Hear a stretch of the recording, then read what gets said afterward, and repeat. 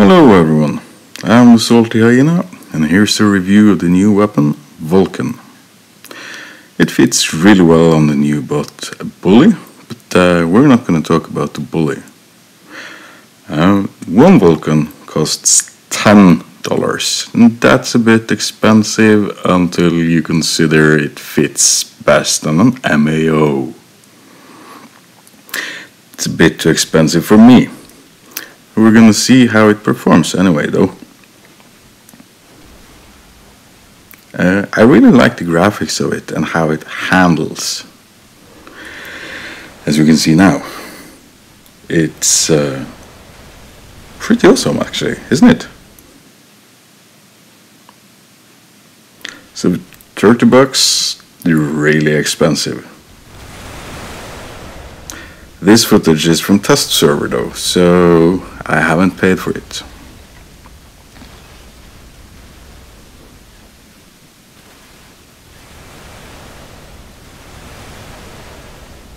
And up close, it's really, really freaking deadly. Oh yeah.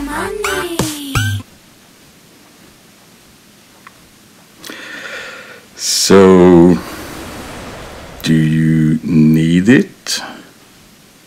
Mm, maybe.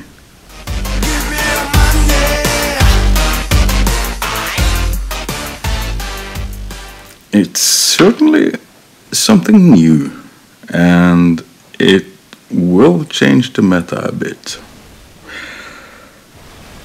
And uh, we have to keep in mind that this is test server, so all of these bots I'm fighting, there is simply T1.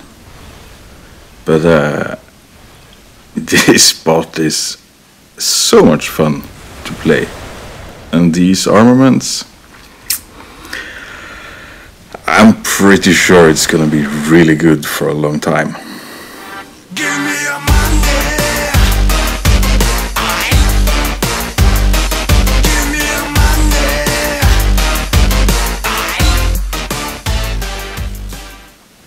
And of course, Red Button's gonna need to earn money somehow.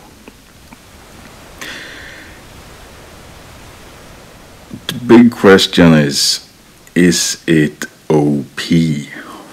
And it's it might be slightly OP. Uh, hopefully, the new next uh, in-app purchase weapon won't be too far away. And hopefully this weapon won't be completely overpowered. Uh, I don't think it will be though. It has plenty of, of counters. But I'm worried about accusations of pay to win. If you have cash to burn on this game though, you certainly can do worse than spending 30 bucks on this weapon and, and putting it on an MAO. As you can see, it's great fun, really deadly, and it takes a fair bit of skill to be honest as well. So it's, in my opinion, it's probably fair. Thank you for watching. See you next time.